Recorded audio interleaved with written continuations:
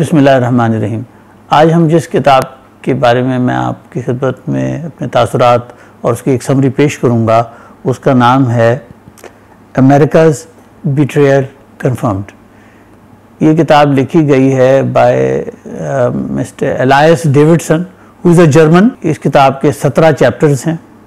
ये तकरीबन साढ़े तीन सौ सफ़ात से ज़्यादा पर मुनसर है और इसके अंदर उन्होंने बहुत डिटेल में रिसर्च करके 9/11 के वाक़े पे रिसर्च करके तक उसमें साढ़े नौ सौ से ज़्यादा रेफरेंसेस हैं जो उन्होंने दिए हैं। मैंने इस किताब को बहुत गौर से पढ़ा है।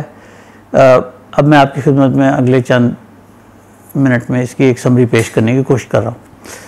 नाइन अलेवन का जो वाक़ जब पेश आया था, उसके पेश आते ही चंद मिनट के अंदर ही एक अमेरिका में मीडिया ने एक वावेला शुरू कर दिया था कि ये इस्लामिस्ट का अटैक है अमेरिका के हार्ट और सोल पे हुआ है। उसके बाद जैसे ही दूसरा हवाई जहाज़ आकर उनके दूसरे टावर से टकराया तो अब इस्लामिस्ट के साथ साथ उन्होंने ये कहना शुरू कर दिया कि ये तो अटैक किया है उसामा बिन लादेन ने।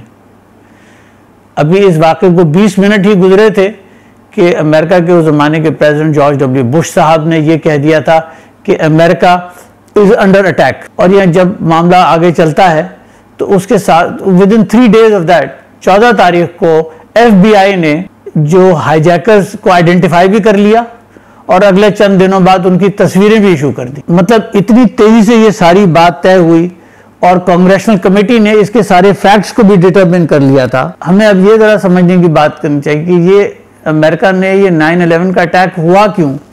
और ये करवाया क्यों गया? ये किस वजह से हुआ? इस सिलसिले में याद रखिए कि दिसंबर की 26 1991 में Soviet Union had stop to exist Soviet Union ख़त्म हो चुका था। अब अमेरिका को एक नया दुश्मन चाहिए था, क्योंकि अमेरिका की जो आर्म फोर्सेस हैं, वो पिछले 50 साल से अपनी सारी डेवलपमेंट करती थी और अपना सारा तवज्जो उनकी सोवियत यूनियन पे होती थी। अब जब सोवियत यूनियन ही ख़त्म हो गया तो जो इतनी बड़ी फौज है, जो उसका इतना बजट है, जो इतना माल खर्च करते हैं, जो इतनी बेईमानियाँ करते हैं, वो कैसे होगा? तो उन्हें एक दुश्मन चाहिए था। तो उन्होंने चारों तरफ़ नज़रें दौड़ाई दौड़ाई होंगी। उन्होंने कहा कि मेरे ख्याल जो सबसे बेहतरीन दुश्मन है, वो हम किसी इस्लामिस्ट कह देते हैं और उसके लिए हम सिलेक्ट करते हैं मैं उसामा बिन लादेन को और अलकायदा को। और ये हमारे दुश्मन है और अब हम इनके खिलाफ सारी कार्रवाइयाँ किया करेंगे। अच्छा जैसे मैंने आपको बताया कि ये तो मामला फ़ौरन ही शुरू हो गया था। आ, और ये ये मामला चलता ही रहा। हम इस, इसी बात को इंश्योर करने के लिए कि सारे दुनिया में भी ये बात समझ आ जाए नौ ग्यारह को ही, नौ से, ग्यारह सितंबर को ही ये सारे मामला इसी किस्म के बहुत से अटैक्स न्यूयॉर्क सिटी में अगले दिन बल्कि उसी दिन शाम को एम्पायर स्टेट बिल्डिंग पे हुआ था ग्रैंड सेंट्रल के ऊपर हुआ। अच्छा ये सारे बॉम्ब ब्लास्ट जो उन्होंने शिकागो के अंदर भी अनाउंस किए गए, और टस्कन एरिजोना में भी हुआ ओक्लाहोमा भी हुआ यूटा में भी हुआ सैन क्लारा कैलिफ़ोर्निया में भी हुआ। अमेरिका के बहुत से शहरों में बॉम्ब की होक्स इंफॉर्मेशन आई। और उस होक्स इंफॉर्मेशन की वजह से बहुत बहुत बड़ी जगहों से लोगों को खाली करवा लिया गया इवैक्यूएशन करी गई। जब इवैक्यूएशन इतनी आप हैवीली करेंगे फॉर एग्जांपल अगर ग्रैंड सेंट्रल न्यूयॉर्क में जब उन्होंने वहाँ पे बॉम्ब होक्स की बात हुई तो वहाँ कम से कम भी उससे पंद्रह हज़ार से ज़्यादा लोग होंगे, वो बहुत बड़ा एक स्टेशन है। कि तो उन पंद्रह हज़ार लोगों ने फिर हज़ारों लोगों को भी बताया होगा और ये बात किस तरह से फैली होगी। और मीडिया भी इन सारी चीज़ के पीछे बुरी तरीके से पड़ा। नॉट ओनली के यूनाइटेड स्टेट्स के के शहरों में ये काम किया गया, बल्कि अगर आप उस ज़माने के अखबारों को उठा के देखें तो ये लंदन में भी अटैक हुए पेरिस में भी अटैक हुए, जर्मनी में भी अटैक हुए यूरोगोए में भी हुए, यूनाइटेड अरब एमिरेट्स में भी हुआ, जहाँ पर अमेरिकन एम्बेसी पे हुआ था अबूधाबी पे। इसी तरीके से नाइजेरिया में भी हुआ। मतलब ये अमेरिका फ्रांस में भी और यूके में मैं ज़िक्र कर चुका हूँ, ये सारी दुनिया में ये होक्स अटैक्स हुए। उस होक्स अटैक्स की वजह से सारी दुनिया को एक दिमाग में बात सेटल हो गई कि यस, एक टेररिज्म का ऐसा ज़बरदस्त फनामना पैदा हुआ है जो कि सारी दुनिया को उसने एनगल्फ कर लिया है। यहीं पे बात नहीं रुकी। उस जमाने में दस हवाई जहाज़ों का हाईजैकिंग का केस भी हुआ। मगर कोई जहाज़ हाईजैक नहीं हुआ। मगर हाईजैकिंग के केसेस को प्रमोट किया गया कि हाईजैक करने की कोशिश की गई और उसको फाउल और उसको फेल कर दिया गया। इतने सारे ये तकरीबन कोई सत्तर अस्सी से ज़्यादा केसेस हैं जो मैंने अभी ज़िक्र किया मुख्तलिफ़ शहरों में। और वहाँ पर जिन चीज़ों को अटैक किया जा रहा था जिन जगहों को अटैक किया जा रहा था लंदन में लंदन स्टॉक एक्सचेंज को अटैक हो रहा है इसी तरह वो सब their iconic places and iconic buildings और उनकी वजह से भी एक खौफ और हरास की की पोजीशन डेवलप हुई। अमेरिकन मीडिया ने यह भी कहना शुरू कर दिया कि एक मिज़ाइल जो है वो जॉर्ज बुश साहब की आ, आ, उनकी रैंच की तरफ़ जा रहा है। और हमें इतला मिली है कि वो एयरफोर्स वन जो कि यूनाइटेड स्टेट्स के प्रेसिडेंट इस्तेमाल करते हैं, उनके हवाई जहाज़ को हाईजैक करने की कोशिश की जा रही है। उसका भी थ्रेट है। एक there is another plane which is going to hit the US Congress at the Capitol तो कैपिटल के अंदर से सारी कांग्रेस को भी खाली करवा लिया गया। उसके दो दिन बाद एक सेनेटर के दफ्तर से इतला आ गई कि वहाँ पर कोई बॉम्ब होक्स है। तो अगली दफ़ा भी फिर कांग्रेस को को इवैक्यूएशन करवा दी गई। इस सारी प्रोसेस की वजह से in the next one month और सो सारी दुनिया में ये बात सबको समझ में आ गई कि yes the world is under a terrible attack और ये मामला इसी तरह से चलता रहा ताकि अमेरिका ने without any justification and without any proof Afghanistan में अटैक किया। वो आज तक ये बात साबित नहीं कर सके कि उसामा बिन लादिन का या अलकायदा का इन 9/11 के अटैक के साथ कोई ताल्लुक है, या वो कोई इस सिलसिले में कोई अपनी, कोई सबूत भी दे सके। But some the other they were able to convince the world कि ये सब कुछ हुआ है। जिन चार पाँच लोगों की हाईजैकर्स की अलेज हाईजैकर्स की तस्वीरें शाये की गई थी, एफबीआई ने उनके, वो उनमें से तो बहुत से उनमें से दो तीन तो ज़िंदा भी थे। उन्होंने कहा, भाई, हम तो ज़िंदा हैं यार, हम किधर से हाईजैकर हो गए? और बाकियों के रिलेटिव्स ने उनको बड़ा सीरियसली क्वेश्चन किया कि आप की, क्या तस्वीर छाप रहे हैं? ये तो इससे हमारा जो बंदा जिसका नाम आपने इसमें लिखा, वो उसकी तो शक्ल इसे मिलती नहीं है। वो तो फलानी जगह पे अभी भी ज़िंदा है, जाओ उसकी तस्वीर देख लो। So the hijacker story was completely thrown out then at the same time उन्होंने ये भी कहा था, ये सारे इस्लामिस्ट हैं। और ये सब हाईजैकर्स हैं और ये सब इन्होंने इसलिए किया क्योंकि they wanted to go to paradise but like all false flag operation उसमें कोई ना कोई बेवकूफ़ियाँ भी हो ही जाती हैं। एफबीआई ने इन्हीं हाईजैकर्स के बारे में ये भी कहा कि ये एक दिन पहले फ्लोरिडा में फलाने पब में बैठे शराबी पी रहे थे। उससे दो दिन पहले फलानी जगह पे ये नाइट क्लब के अंदर रंगरेलिया में आ रहे थे। उससे चंद दिन पहले ये और कहीं पे किसी और जगह एक्स्ट्रा मैरिटल सेक्स में भी इन्वॉल्व थे। ये तो वो लोग हैं जो कि मुजाहिदीन, जो कि जन्नत में जाने वाले हैं और हरकतें उनकी ऐसी। ये तो ये तो समझ में आने वाली बात ही नहीं थी। इसके साथ साथ और भी मज़ेदार चीज़ें हैं कि इन्होंने आज तक इतने साल गुजर गए हैं 9/11 में ये हवाई जहाज़ों में जो पैसेंजर्स बैठे हुए थे, उनकी कोई लिस्ट अवेलेबल नहीं है। और अमेरिका ने उनकी कभी कोई लिस्ट इशू ही नहीं की। नॉट ओनली के हवाई जहाज़ के पैसेंजर्स की लिस्ट इशू नहीं की, ना कॉकपिट क्रू के नाम बताए गए, ना कैबन क्रू के नाम बताए गए। और आज तक नहीं बताए। एक और मज़ेदार बात, ये जो हवाई जहाज़ों के क्रैशेस हुए, दो क्रैश तो न्यूयॉर्क में हुए, उनका कोई रैकेज नहीं मिला जहाज़ों का। भाई कुछ भी हो जाए तो कुछ बोटियाँ ही मिल जाएँगी, कुछ चीथड़े मिल जाएँगे बॉडीज के कहीं खून होगा, कहीं नहीं, कुछ नहीं। No body part nothing at all nowhere इसी तरह से पेंटागॉन के अंदर भी जो जहाज़ घुस गया था, उसके अंदर पेंटागॉन में क्या लॉसेज हुए? उसकी भी कोई इतला नहीं। और वहाँ पर भी कोई बॉडी नहीं मिली। और अगर आप सबको याद हो, एक तो हवाई जहाज़ ऐसा था which was a Boeing seven five seven या seven six seven which is a wide body airplane जिसमें कोई तीन सौ, साढ़े तीन सौ बंदे बैठते हैं, वो साउथ पेंसिल्वेनिया में ज़मीन में गायब हो गया। उसका कोई ट्रेस ही नहीं मिला। ना सिर्फ़ जहाज़ का कोई ट्रेस नहीं मिला एज इफ़ वो ज़मीन नहीं है, वो पानी है। वो पानी नहीं था, वो ज़मीन थी, और जहाँ पे उसको क्रैश जहाज़ कहा गया, वहाँ पर जहाज़ का एक टुकड़ा नहीं पड़ा था। किसी एक पैसेंजर की आ, कोई रिमेन्स नहीं थी उनके सामान का कोई रिमेन नहीं था। ना दिस हैज़ बीन अच्छा और इसकी कोई इन्वेस्टिगेशन भी नहीं हुई। अमेरिका ने इन रैकेजेस की कि ये रैक्स कैसे हुए क्या वजह थी इसकी कोई इन्वेस्टिगेशन आज तक की ही नहीं। अब जब वापस आते हैं कि ये सारी चीज़ करने के लिए अमेरिका ने एक काम और किया था और वो भी बहुत ज़बरदस्त।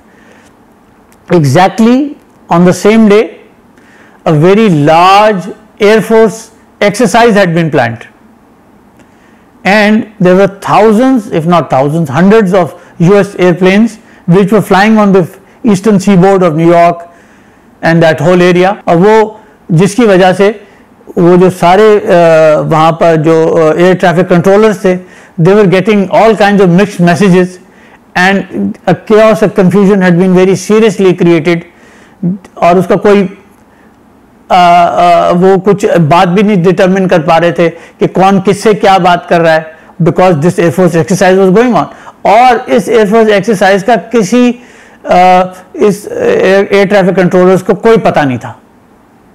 So they didn't know what was happening and they thoroughly confused एक बहुत ही मज़ेदार बात कि ये जो सब कुछ हो गया within 11 days of 9 11 that means by the 22nd of September 2000, uh, 2001 इन्होंने एक विक्टम्स कॉम्पनसेशन कमीशन भी बना दिया। और विक्टम्स कॉम्पनसेशन कमीशन ने जो भी बंदा गया कि मेरा वाले साहब मर गए हैं या मेरी माँ मर गई है या मेरी बेटी मर गई है उसी से किसी से नहीं पूछा। कि तुम साबित तो करो। जो पहुँचा उसने कहा उन्होंने कहा यार फ़िलहाल तो इस, इस बंदे की बात बंद करो। हर एक को 2.1 मिलियन डॉलर दिया गया tax free can you imagine 2.1 million dollar being given to everybody that came मगर शर्त यह थी कि विक्टिम्स कमीशन कॉम्पनसेशन कमीशन के अंदर कि आप जो है you will not take this matter to the court आप इसको साइन कर दें और 2.1 मिलियन डॉलर ले जाएँ। So this amount was distributed very quickly but there ninety six families उसे no we don't want to accept two point one million dollar I think it's too little but we want to know the facts तो उन्होंने भी एक एक जज appoint कर दिया और उसको कहा कि भाई, जिसने भी, जिसको भी कोई प्रॉब्लम है, वो उसी जज के पास चला जाए, इस कोर्ट में चला जाए। और जज के सामने आप जितनी भी तकरीर कर लें, वो सुनते रहते थे। और ये कहते थे कि नहीं, जो आप इंफॉर्मेशन मांग रहे हैं, वो अमेरिकन गवर्नमेंट आपको दे ही नहीं सकती। अमेरिकन गवर्नमेंट आपको इसलिए नहीं दे सकती क्योंकि वो सीक्रेट है। It is not in the national interest to give this और जब बहुत प्रेशर क्रिएट हो गया तो उन्होंने कहा कि अच्छा चलो सबको मैं फाइव फाइव मिलियन डॉलर दे देता हूँ। तो five hundred million dollar were given तो कितनी अकलमंदी की बात थी? कि आप बजाय वो 2.1 मिलियन डॉलर लेने के आप उस 96 फैमिलीज़ को ज्वाइन कर लेते तो instead of getting 2.1 million dollar you would have gotten 5 million dollar plus now America didn't stop at this they went beyond this अच्छा अब ये हुआ कि जिन लोगों को 5 मिलियन डॉलर मिल गए थे, वो तो ज़्यादा खुश थे। जिनको 2.1 मिला था, वो देवर अनहैप्पी यार, ये क्या हुआ? जाती हो गई। तो अमेरिका बीइंग अमेरिका उन्होंने इन सारे लोगों को फिर व्हाइट हाउस में इनवाइट किया और इनको नेशनल आइकॉन्स डिक्लेयर कर दिया गया। और प्रेसिडेंट बुश साहब आके गले मिल रहे हैं, बच्चों को प्यार कर रहे हैं खातन को भी प्यार कर रहे हैं, मर्दों से हाथ मिला रहे हैं, उनसे इंतहाई गर्म जोशी से लोगों के साथ तस्वीरें खींच रही हैं। And all these people were not very satisfied get we also become national icons now this has what has happened no investigation has taken place up till now कि ये हाईजैकर्स कौन थे? ये हवाई जहाज़ों के रैकेजेस कहाँ गए? ये रैकेजेस कैसे हुए? आगे चलिए, ये भी इन्वेस्टिगेशन नहीं हुई कि ये ये जो WTC का जो पहला वाला टावर था और जो दूसरा टावर था जिसे ये जहाज़ टकराए थे, ये बिल्डिंगें खुद ब खुद अपने ऊपर क्यों गिर गई? इसकी भी बड़ी मुख्तलिफ़ किस्म की थेरीज आती रही। फायर चीफ ने भी कहा इनफैक्ट सबसे इंपॉर्टेंट बात तो ये थी कि mayor Rudy Giuliani the mayor of New York had said on the same day to the ABC कि हमें तो पिछले एक दो दिन से पता था कि ये बिल्डिंगें गिराई जाने वाली हैं, गिरने वाली हैं। ये मेयर खुद कह रहा है। फायर चीफ ने भी बताया, फिर सिक्योरिटी का जो चीफ था उसने भी बताया कि गवर्नमेंट के बहुत सारे सीनियर अफसर्स और जो सीनियर ऑफिसर थे वो पहले ही चले गए थे। तो इन्हें कैसे पता चला?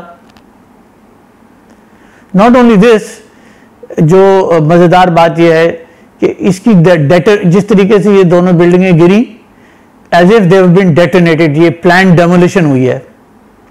यही हुई, उनका जो W T C seven tower seven कहलाता है।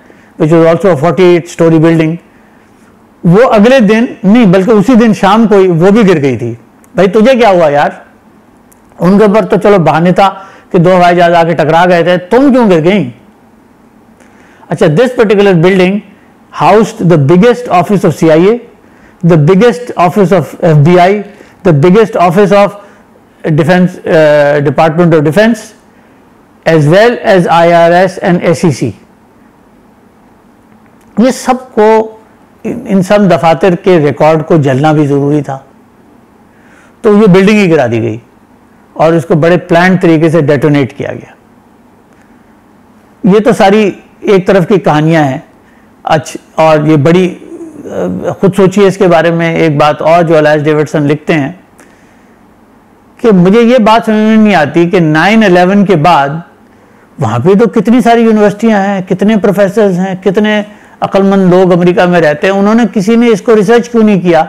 इन्होंने ये बातें क्यों नहीं उठ के आई कि भाई हमारे पास तो पैसेंजर की लिस्ट ही नहीं है कैबिन क्रू की लिस्ट ही नहीं है। ये जो आप जिन लोगों को आप कह रहे हैं कि ये हाईजैकर से ये तो शराबें पी रहे थे, ये तो लड़कीबाजी कर रहे थे, ये तो देवर ब्लडी बंगलर्स किसी का चार टिकट मिले हुए हैं एट उसके ट्रैफ़िक के टिकट मिले हुए ओवर स्पीडिंग का किसी बंदे को टिकट मिला हुआ है, उसके पास लाइसेंस नहीं है। कोई ऐसे भी बंदे हैं जो कि इंग्लिश में बात ही नहीं कर सकते दे नीड ए ट्रांसलेटर अच्छा किसी बंदे ने इनको हवाई जहाज़ में चढ़ते नहीं देखा, किसी ने इनको किसी सिक्योरिटी चेक में से जाते नहीं देखा, ये सारी चीज़ें इतनी ऑब्वियस हैं, इसको किसी ने रिसर्च क्यों नहीं किया? तो allies Davidson has gone into great detail कि ये क्यों नहीं हुआ? And he comes out and says very clearly कि इसकी वजह यह थी कि इन तमाम लोगों में से जिसने भी कुछ लिखने, पढ़ने की या बात करने की कोशिश की गई, उसके साथ दो काम हुए। या तो उसको चुप करा दिया गया, या उसे उतने पैसे दे दिए गए कि वो चुप हो जाए। लिहाजा इसलिए इसमें कुछ नहीं हुआ। और एक और बात वो बड़े मज़ेदार कहता है कि not only in United States but US ने अपना सारा प्रेशर इस्तेमाल किया इन यूरोप ऑल्सो वो खुद क्योंकि जर्मन है तो जर्मनों को भी बहुत गालियाँ देता है।